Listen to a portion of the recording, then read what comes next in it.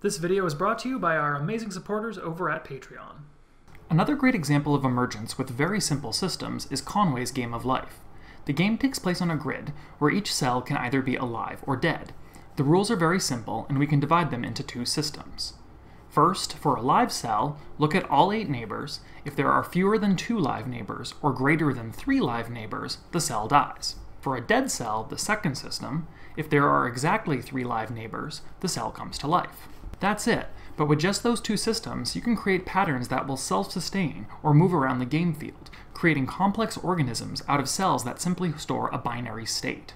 The creativity that comes out of this simplistic game is a perfect example of emergence.